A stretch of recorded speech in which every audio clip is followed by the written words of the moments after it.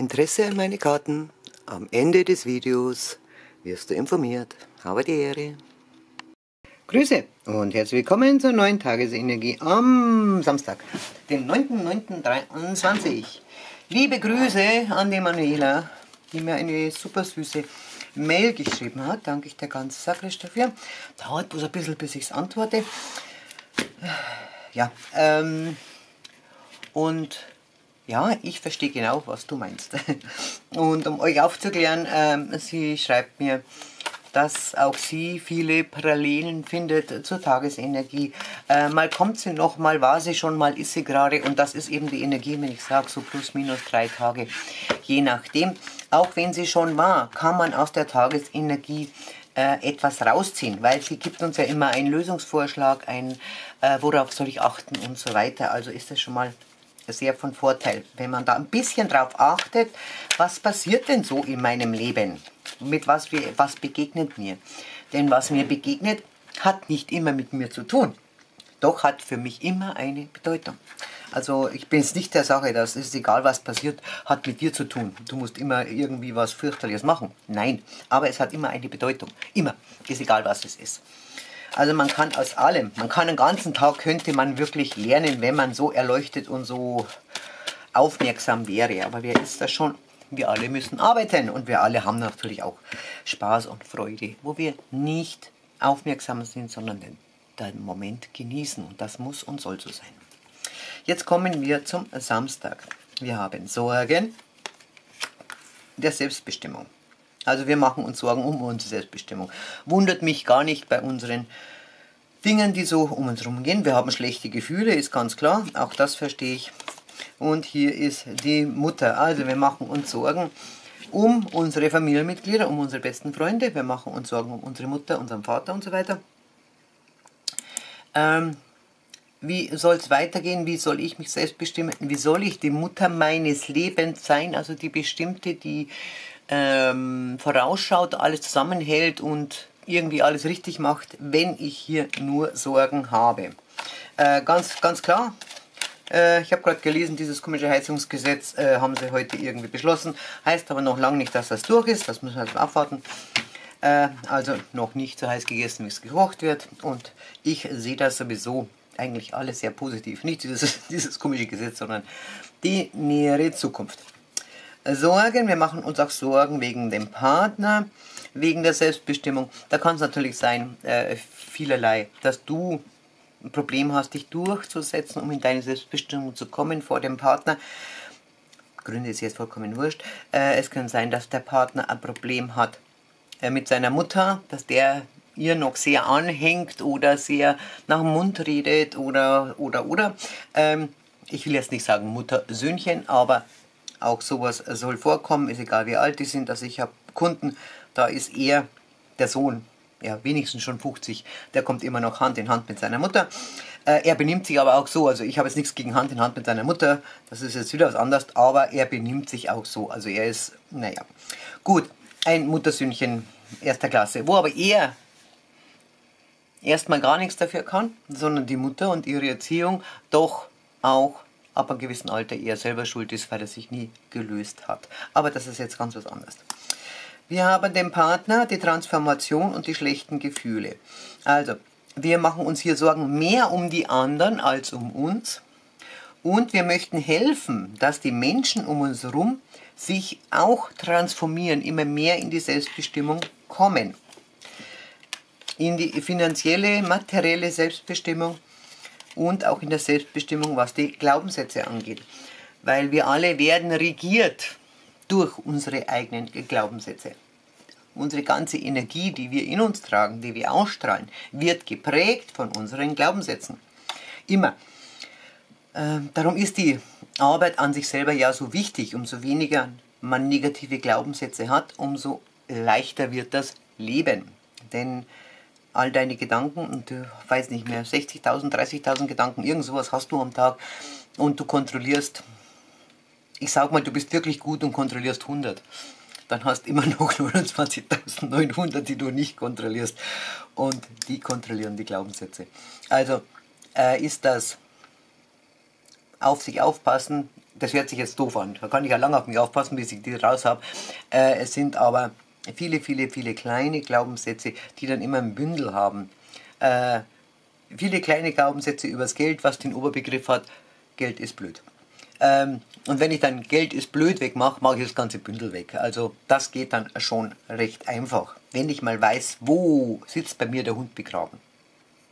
Aber hier geht es darum, wir machen uns eben Sorgen um unsere Lieben und möchten, dass sie transformieren, dass sie ihr Leben in den Griff bekommen, dass sie mehr auch ihre Lebensgestaltung in Augenschein nehmen, in An, äh, Angriff nehmen. Oh, sehr schön. Äh, denn wir, irgendwo wissen wir, spüren wir alle, dass wir gerade auf dem Weg ins Glück sind. Und das ist das, was ich gerade gesagt habe. Ich bin der äh, nahen Zukunft, und da spreche ich jetzt von drei, vier Monaten, wirklich sehr positiv gesinnt. Also wenn ich da so reinhöre, dann merke ich zwar auch hier äh, ein paar Brocken, die hier rumschweben in der Gegend, aber auch viel, viel, viel Licht. Also ich sage nicht, in drei, vier Monaten ist ja alles vorbei. Aber für die, die hier an sich, nicht an sich arbeiten, aber die das Leben positiv sehen, kommen auch in eine positive Schwingung und den wird das Positive auch mitziehen, obwohl es diese schwarzen Brocken nach wie vor geben wird. Ähm, und hier heißt es ähm, Lebensgestaltung, wir bleiben jetzt mal bei erdlich, bei weltlich, erdlich, Lebensgestaltung. Du kannst hier reichlich dein Leben gestalten. Kommt drauf an, also transformier deine Glaubenssätze. Hör auf, dir Sorgen ums Materielle zu machen. Alles wird gut. Ähm, kann sein, dass du jetzt eine Idee hast, ähm, gut, äh, beim nächsten Urlaub fahren wir halt nicht in das Drei-Sterne-Restaurant, sondern wir nehmen uns eine Ferienwohnung, kostet die Hälfte und dann können wir uns das alle wieder leisten. Also alles gut und sei freudig gestimmt. Während die Mutter, der Partner oder die Freundin äh, äh, klagt, mein Gott, nächsten Urlaub, kann ich nicht fahren, ich krieg das Geld nicht zusammen, bla bla bla, weil sie gar nichts anders in Betracht zieht. Das heißt, sie kann überhaupt nichts transformieren. Sie sieht nur, dass alles schlecht ist. Kann auch sein, dass du sagst, ach komm, der nächste Urlaub ist noch ein halbes oder dreiviertel Jahr hin. Äh, bis dahin hat sich bestimmt viel geändert. Bis dahin kann ich noch sparen und, und, und. Das Glück ist mir hold. Du so positiv denkst, ähm, sie das aber nicht kann. Und hier heißt es wirklich, das Glück ist uns hold. Transformiere deine Sorgen und schlechten Gefühle. Lass dich nicht vom Partner mitziehen. Denn das ist auch hier eine große Gefahr. Äh, selbst wenn du sehr positiv bist und ähm, wirklich was tust, du aber einen permanent negativen Partner oder einen sorgvollen Partner neben dir hast, wird dir dich automatisch mitziehen. Und das ist mir gestern ganz krass aufgefallen. Also, das ist wieder spirituell. Sage ich euch später. Sage ich später. Wir kommen jetzt hier. Also, lass dich nicht von den Sorgen mitziehen, denn hier heißt es, hier wird es gut. Deine Lebensgestaltung, wenn du daran glaubst, wird sie wirklich reichlich von Glück und materiellen Dingen gesegnet sein.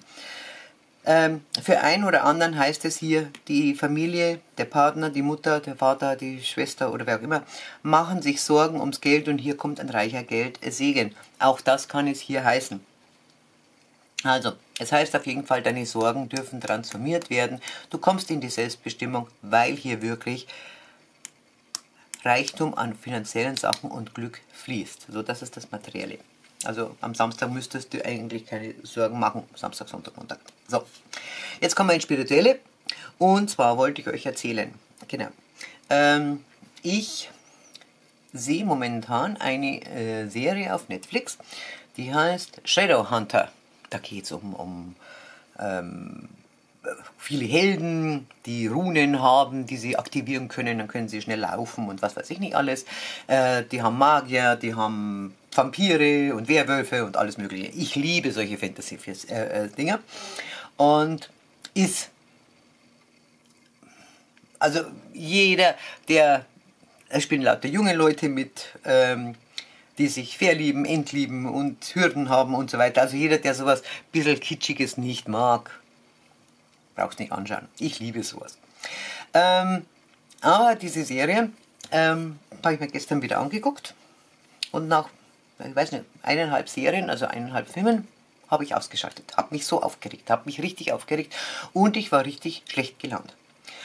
Und wusste aber eigentlich nicht warum. Und dann habe ich mich hingesetzt und habe mir gedacht, das muss ich jetzt rausfinden. Warum bin ich jetzt schlecht gelaunt? Ich war den ganzen Tag gut drauf, mir geht's gut. Warum? Und ähm, du weißt, ich schreibe und bei solchen Schreiben, wenn ich dann automatisch, das heißt nicht automatisch schreiben, aber ich schreibe, ohne viel drüber nachzudenken, dann kommt bei mir eine Stimme, die, ja, ich weiß es 100 Pro, das ist meine Seele, die dann hier mit mir spricht. Ich schreibe und sie gibt mir Antworten in dem Moment, wo ich schreibe. Und da kam dann, äh, ja, was schaust du da so einen Scheiß an? So im Großen und Ganzen. Ähm, dein Verstand kann nicht über Fantasie, über Film und Realität unterscheiden. Weißt du doch. Ja, wenn du dir was vorstellst, der Verstand weiß es nicht, ist es real oder ist es Vorstellung. Also kann der Verstand auch nicht über Filme unterscheiden. Und äh, das, was in den äh, ähm, eineinhalb äh, Stunden passiert ist, äh, war wieder viel Intrigen. Die Liebenden haben sich wieder getrennt durch Intrigen und da war ich eine ganz böse dabei und ich hasse Intrigen, ich hasse das, ich mag das nicht, wenn Menschen so falsch sind. Das, da kriege ich Kribbeln, da kriege ich Anfälle. Und ähm, ja, alles, was du nicht magst, ist da gekommen. Äh, das Glück hat sich wieder getrennt und, und ist auseinandergebracht worden und lauter so ein Blödsinn. Ähm, also habe ich jetzt real von meinem Verstand, von meinem Sein erlebt, dass sich das Gute wieder trennt, dass sich nichts rentiert, dass das Böse gewinnt, bla bla bla. Natürlich geht der Film wieder anders aus, das weiß ich schon. Aber ich sehe ja, eher, sagen wir mal, von einer Dreiviertelstunde 40 Minuten, alles ist ganz fürchterlich schlimm und 5 Minuten ist ja doch wieder alles gut. Wiegt diese 5 Minuten, wiegen diese 40 Minuten nicht auf. Verstehst du, was ich meine? Also ich habe mich praktisch eineinhalb Stunden mit Sachen beschäftigt, äh, ähm, unbewusst, die ich alle nicht will. Und darum hat es mich dann auch so aufgeregt und ich habe das ausgeschaltet. Ähm, es hat mich regelrecht runtergezogen, obwohl ich solche Filme furchtbar gerne ansehe. Ähm, und das ist das, wenn ich sage, lass dich vom Partner nicht so beeinflussen. Wenn du einen negativen Partner an deiner Seite hast, der dich tagtäglich sein Leid klagt und sei es nur, dass er tagtäglich stöhnt und jammert, weil ihm das Kreuz so weh tut oder, oder, oder. Es zieht dich mit der Zeit automatisch runter, weil du da nicht mehr Acht gibst drauf. Ähm, du müsstest wirklich in dem Moment, wo du das erzählt, oh, ich habe schon wieder so ein Kreuzweh und oh, kannst du mal das aufheben und pa, pa, pa, pa, pa, kennst ja, diese Partner, die so jammern, ähm, du müsstest dann rausgehen und sagen, und da lasse ich jetzt alles wieder los. Das müsstest du bloß jedes Mal tun. Und daran müsstest du denken, dass du wirklich nicht runtergezogen wirst. So wirst du automatisch Stück für Stück in diese Krankheit, nicht in diese, aber in Krankheitsenergie an sich hineingezogen. Und wenn du dich mal beobachtest, wenn dein Mann recht jammert, und das weiß ich von mir, äh, kann ich davon ausgehen, dass ich so etwas ähnliches einen Tag später habe. Auf einmal habe ich auch Kreuzweh oder das Knie tut mir weh oder irgend so und was. Denke mir, wo kommt das jetzt auf einmal her? Bis ich reflektiere, ja, er hat ja wieder gejammert ohne Ende. Und ich habe mich nicht davon distanziert. Ich habe es nicht transformiert. Und äh, sowas haben eben auch diese Filme, wie ich erzählt habe, ähm, Ansicht. Das heißt, du sollst, also ich werde jetzt meine Serien trotzdem weiterschauen, aber ich werde sie erstmal mit Bedacht ansehen, wird mein Verstand immer wieder zu verstehen gegeben, das ist ein Film, das ist nicht real, das ist nicht mein Leben. Und vor allem, ich werde es nicht so lange angucken. Und dann muss ich es halt dann gleich danach verdauen weil ich sehe es ja trotzdem gerne an. Aber solange ich diese Glaubenssätze irgendwo in mir noch habe und die Glaubenssätze ganz ausmerzen, ich weiß nicht, ob das wirklich geht. Dieser Kern, dieser Same bleibt ja drin.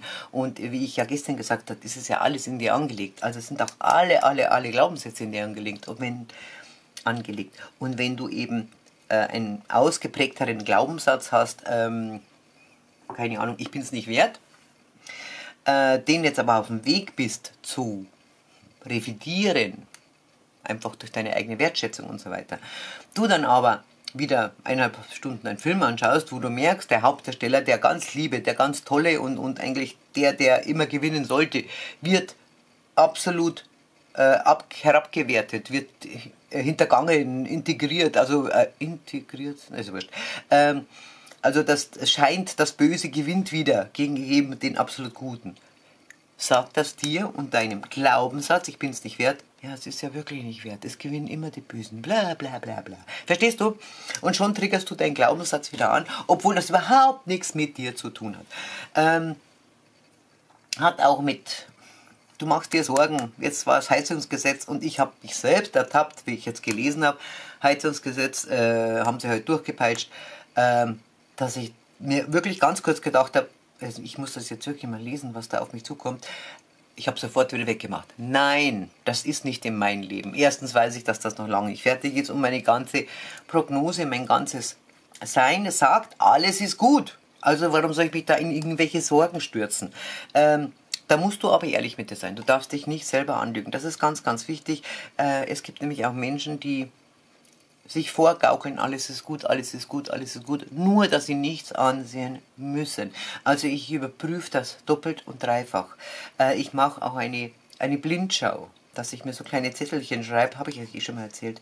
Äh, wo dann drei, äh, drei, also vier Sachen draufstehen. Eins, die ich wirklich, was mich wirklich interessiert, aber drei, die vielleicht ähnlich sind, wo ähnliche Antworten kommen könnten oder, oder, oder. Nur um mich selber nicht zu manipulieren. Das ist für mich immer ganz, ganz wichtig, weil das macht jeder Verstand versucht, dich zu manipulieren.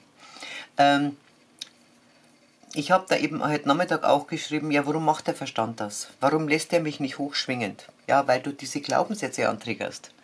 Und ist egal, was, was du tust. Und wenn du jetzt irgendwo auf der Straße Leute reden hörst, die dann jammern, und du hast irgendwas in der, Ähnlich in der Ähnlichkeit, einen Glaubenssatz, ob der schläft oder nicht, der wird angetriggert. Das heißt, du musst also wirklich eigentlich sehr, sehr, sehr auf dich aufgeben, Obacht geben. Auf der anderen Seite heißt das hier spirituell, wir bekommen sehr viel Hilfe. Hier kommt Mutter Erde und hier kommt die Transformation als Partner. Das heißt also, das ist jetzt momentan ein großer Partner, diese Sorgen und schlechten Gefühle, die deine Selbstbestimmung, die dein Selbstwertgefühl, deine Selbstbestimmung, dein Ich bin mehr als nur der Mensch und kann alles oder hab alles, ähm, sehr stärken kann. Also indem du das hier rausschmeißt. Äh, ich will jetzt da trotzdem mal reinschauen, was mir hier gesagt wird.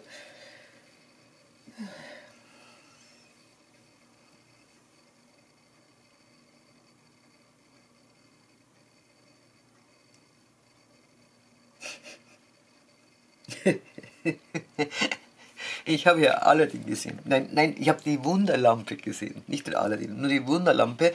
Und da kam der Geist schon raus, der war schon aus der Lampe raus und hat äh, so gedeutet, dass die Lampe ist, die hat immer so gemacht. Magst du nicht mal schreiben, weißt, magst du nicht mal was wünschen? und das ist das hier. Wünsch dir was. Die Energie sagt, wünsch dir was. Transformier deine Sorgen sei die Mutter deines Lebens, vertraue dir und deinen grundsätzlichen positiven Anlagen. Nimm die Transformation als Partner, was jetzt sehr ähm, ähm, schnell geht und äh, ähm, anhaltend geht und transformiere deine Glaubenssätze dass hier das Geld, das Glück und das Reichtum in dein Leben fließen darf. Und ob das jetzt das Reichtum von Geld ist, das Reichtum von Glück oder, oder Freizeit ist, vollkommen wurscht. Das kann sich jeder machen, wie, wie er gerne möchte. Und auch Reichtum ist immer relativ. Der eine versteht unter Reichtum, was weiß ich, Milliarden, der andere Millionen, der dritte äh, 100.000, der vierte 50.000. Das ist vollkommen wurscht, was du unter Reichtum verstehst. Und ob es jetzt Reichtum an Liebe, an Geborgenheit, an Kinder oder, oder, oder ist. Es ist vollkommen wurscht. Hier ist alles ähm, abgesegnet. Äh, es liegt speziell Geld da, ja, weil es wichtig ist. Es ist aber auch materiell und heißt äh, hier auf Erden. Hier auf Erden in deinem Leben, in deiner Lebensgestaltung darfst du jetzt oder bist du mit Glück gesegnet? Transformiere deine Sorgen, komm in die Selbstbestimmung und Grüße. Meine Karten sind nun endlich fertig. Und da ich immer wieder gefragt werde, ja, man kann sie auch kaufen. Ich habe da eine Kleinauflage machen lassen und im Kartendeck sind hier steht 115 Karten, stimmt aber nicht. Es sind 117 Karten, denn ich habe drei Leerkarten mitmachen lassen. Das ist die Schachtel von mir. Ähm, dass ihr eure eigenen Beschriftungen, wenn ihr mehr Kinder habt, Opa oder oder oder drauf machen wollt, äh, dabei habt. Ähm, also sind es 117 Karten und kosten 59 Euro. Ich blende jetzt hier irgendwo meine E-Mail-Adresse ein und auch den Preis und möchte euch ganz kurz, äh, für die, die es nicht wissen, diese Rückseite mal ganz kurz vorlesen. Dauert gar nicht lang, nur dass ihr wisst, was ich damit meine. Du kannst auf üblicherweise Karten lehnen und schauen, was dich in der Zukunft erwarten könnte. Erwarten könnte, weil du der Gestalter deines Lebens bist. Du kannst aber auch herausfinden, warum die Zukunft sich nicht so zeigt, wie du gerne möchtest. Du kannst lernen, was du ändern musst, um das gewünschte Ergebnis im Leben zu erreichen. Dieses Kartendeck ist entwickelt, um auf leichte Art zu erkennen, warum das Leben nicht wunderschön ist. Sie zeigt dir, wohin du schauen musst, was du ändern musst, darfst, in dir, um deinen Weg zu gehen. Der Weg deines Lebens, der erfüllend und glücklich ist. Denn das ist meines Erachtens der Sinn des Lebens. Ein Leben, in dem du lernen und lehren kannst, auf diesen Weg, auf dessen Weg die Sonne scheint. Natürlich wird es ab und zu mal regnen, aber das vergeht sehr schnell wieder. Und alles blüht danach noch schön und üppiger. Ich sage, das Leben ist ein Ponyhof. Lerne es zu leben. Das ist das, was auf der Rückseite steht und das sind meine eigenen Worte und auch das, was ich mit diesen Karten ausdrücken will, machen äh, äh, machen wollte. Mit diesen Karten kannst du wirklich dein Leben in den Griff bekommen, weil sie dir wirklich zeigen, wo du hinschauen musst und wie du es machen kannst. Ich erstelle ein Video, da ist nämlich kein Buch dabei, also keine Anleitung dabei. Sie brauchen keine Anleitung und vor allem wäre so eine Anleitung oder ein kleines Buch noch viel, viel teurer geworden. Und darum mache ich das online. Ich bin gerade dabei, jede einzelne Karte zu benennen jede einzelne Karte zu zeigen, in einer Dreierlegung, in einer Neunerlegung, äh, wie man sie kombinieren kann, was daraus zu deuten ist, fürs Leben, aber auch für die Energien. Und das ist eben ganz wichtig, wenn du damit arbeiten willst äh, und rausfinden willst, äh, wo muss ich denn hinschauen, warum klappt es mit dem Geld nicht. Und da kann ich dir versprechen, sie können wirklich, wirklich helfen. Und wenn ich alle Karten durch habe, wird so in zwei Wochen so sein, kriegst du auch den Link dazu. Da kannst du dann wirklich einzeln jede Karte anklicken und äh, dir das anschauen. Und danach werde ich dann ein äh, großes Video machen mit all meinen äh, Legesystemen. Und die sind zu ja, 95% meine eigenen Systeme, äh, die ich dir alle vorstellen werde und auch sagen werde, äh, wie du damit arbeiten kannst, für dich selbst. Oder für andere, wie du es halt möchtest. Und äh, ich kann bloß sagen, meine Karten haben mir unwahrscheinlich geholfen und helfen immer noch. Du musst nicht, du darfst gerne und in diesem Sinne wünsche ich euch einen wunderschönen Tag. Habe die Ehre.